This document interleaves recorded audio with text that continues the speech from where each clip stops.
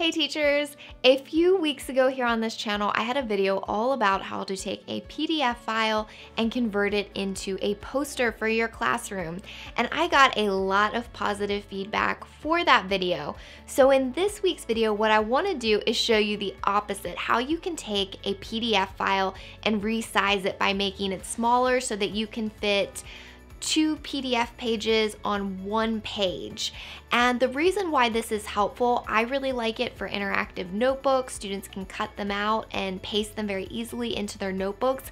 It's also a great option if you are limited on the number of copies that you can make each month at your school. This is a great way to cut down and still enable your students to be able to complete worksheets and activities.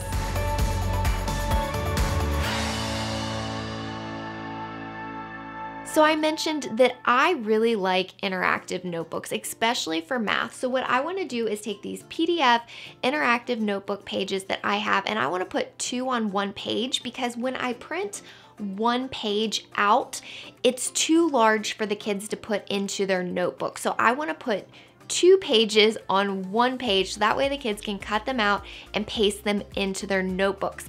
Now before I show you how to do that, I do want to let you know that I have math interactive notebooks available for third, fourth, and fifth grade in my store. All of my interactive notes feature important terms, step-by-step -step instructions for solving problems, visual aids, fun riddles and sayings that students can use to help them remember math concepts.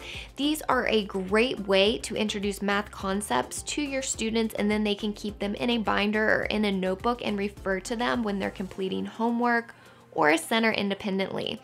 All of my math interactive notes can be found through a link in this video description. Now let's go ahead and get into how we can resize those pages for either notebooks or just for cutting down on printing. We're gonna jump on my computer right now and I am going to show you how to change the settings in the free version of Adobe Acrobat. You do not have to have a paid version to do this. I'm gonna show you how to change those settings so that you can print. All right, so I have got my third grade math interactive notes pulled up here and you can see it's over 100 pages, but I only wanna print the fraction and mixed number pages, which I believe are pages 12 and 13. It is important to remember what pages you wanna print if you're only going to print a specific page range. Now to get started with resizing, you are just going to click the print icon up here and if you wanna print the whole thing, you can leave it on all. I do not wanna print over 100 pages, so I'm gonna click on pages and change it to 12 and 13. Those are my fraction and mixed number pages. Now the next thing I want to do is I want to click on multiple because we want multiple pages on one page and then you will have to change some custom stuff here. It looks like it's remembered from what I have done in previous setups, but what after you click on multiple, you want it to say pages per sheet custom and then change it to two by one, just like I have here. You want the page order to remain horizontal. And then this is an important part. Typically, it's automatically going to go to a portrait orientation. You want it to be a landscape orientation.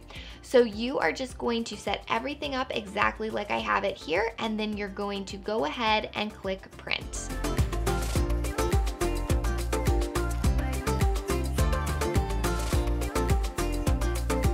Right, so you can see I have got it printed here. And one thing that I do wanna tell you that you wanna keep in mind when you're doing this is make sure that the fonts that you're using are going to be large enough for when you're resizing. You can see that with these interactive notes, I really like them resized because the font is still large enough and clear enough for the students to read. Now what I'm gonna do next is I'm gonna go ahead and cut these pages out and then I'm gonna paste them into a notebook so you can see what it would look like for students' interactive notebooks.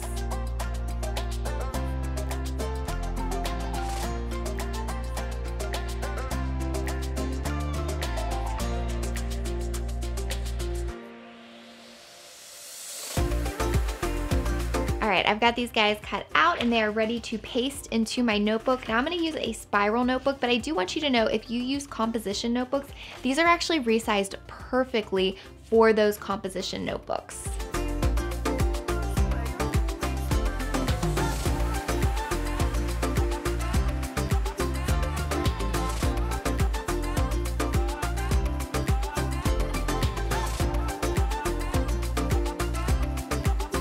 All right, so there you have it, teachers. That is how you resize your PDFs to become smaller. Like I said before, if you're interested in resizing to make them much larger and into posters, check out that other video here on my channel. And if you've enjoyed the content in this video, I do wanna take a moment just to ask if you would not mind to please like the video and subscribe to the channel. We create all of this content here on the channel for teachers and it's completely free.